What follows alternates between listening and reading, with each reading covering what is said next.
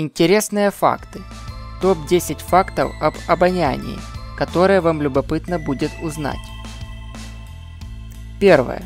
Согласно результатам исследований, опубликованным в журнале Science в 2014 году, нос человека может воспринимать по меньшей мере триллион отчетливых запахов. Второе.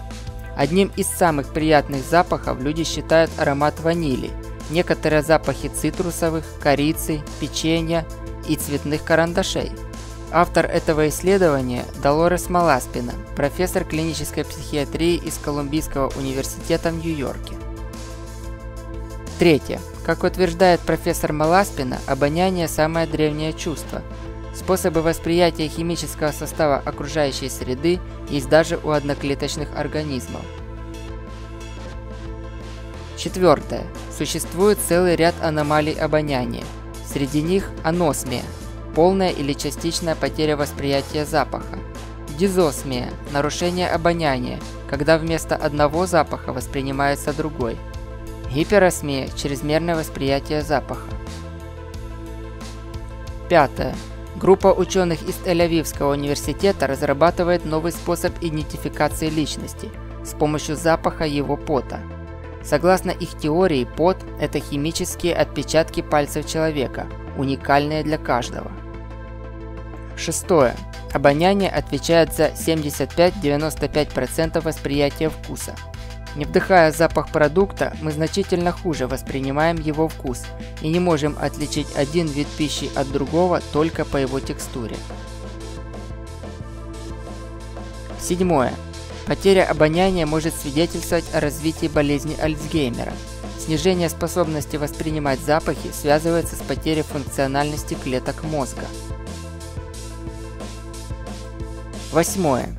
Восприятие запаха может стать одним из способов диагностики аутизма. Согласно данным некоторых исследований, дети, страдающие аутизмом, не делают различий между приятными и неприятными запахами и вдыхают их одинаково, не пытаясь вдохнуть поглубже вкусный аромат или дышать неглубоко, если запах плохой. Во время экспериментов такой дыхательный тест показал 81% точность при постановке диагноза у детей в возрасте 7 лет. Девятое. Нос определяет звук голоса. То, что мы слышим, когда люди говорят или поют, во многом зависит от резонирующих структур в горле и носу. Сам звук производят голосовые связки, но его насыщенность определяется тем, как он обрабатывается выше связок. Характерный носовой голос при заложенности носа возникает из-за отсутствия назального резонанса. Десятое. Ринопластика или пластика носа.